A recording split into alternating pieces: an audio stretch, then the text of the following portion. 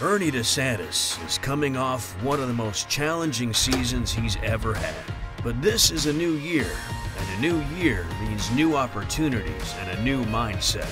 Ernie knows no matter how many tags he fills this year, it'll be a success. Not because of what he's hunting, but because of who he's hunting with. Ernie will still be chasing all the mature bucks on his farm this season, but this year, there will be another DeSantis looking to fill a tag.